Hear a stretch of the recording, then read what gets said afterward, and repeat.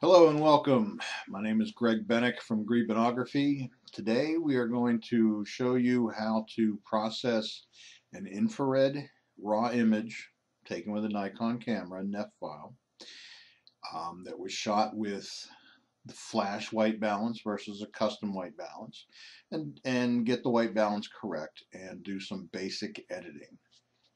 So the first thing we're going to do is open the file.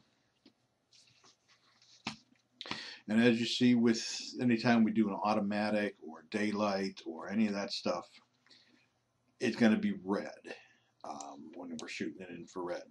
But Nikon Capture NX2 makes this very easy to take care of. All we need to do is expand the camera settings, go to select gray point, marquee, start, and if you just drag it around, it will automatically set it. And I'm using a 720 nanometer filter, so there's some bronze and stuff in there. Alright, so now that we got a good basic starting point for the white balance, we are going to go ahead and do some basic processing. Um, what I am going to do is straighten it first.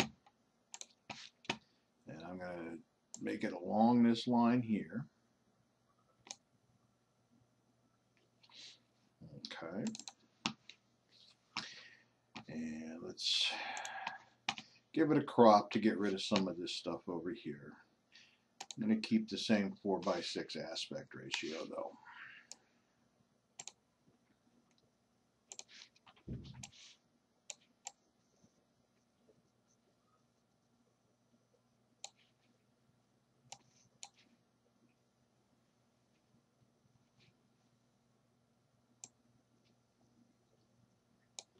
And her eye and her feet are on the rule of thirds.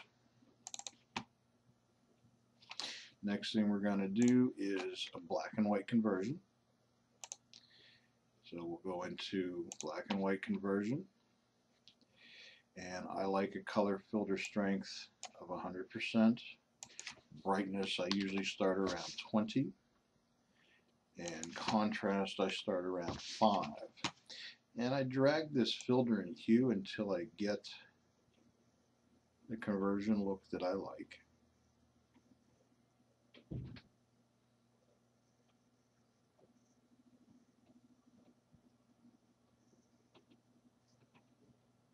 I think I like the red on this one here. So we're going to leave it all the way up that way. The next thing I'm going to do is set some levels. Now I have the levels sampling for the black auto clipping levels at 0.1% and the white at 0.01.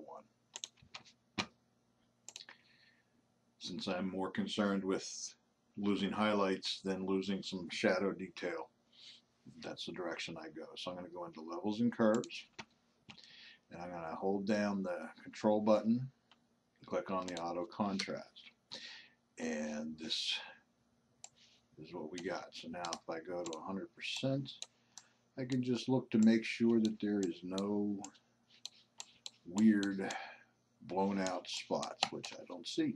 All right.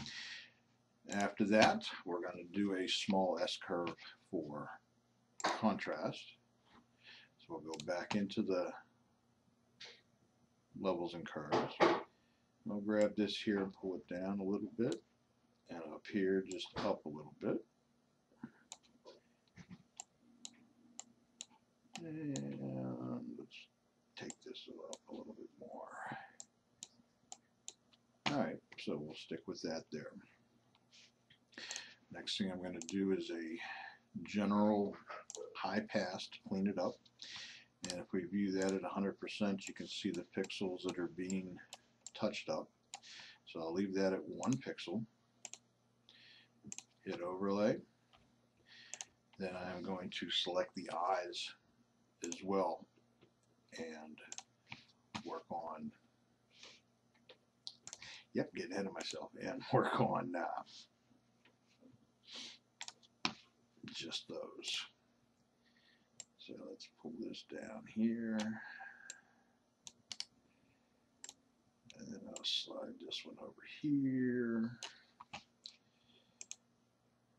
Again, we'll grab high pass and we'll bump this one up to five pixels and overlay. And that one looks like that. Alright, so we'll go back to the full size. And I typically, since Facebook likes 2048 on the long side, to get it to display at the highest possible quality, I will go ahead and resize for Facebook. So that's adjust, I'm sorry, edit, size, and 2048 for the long side. Now we can just save that. And then you can do a save as for your JPEG.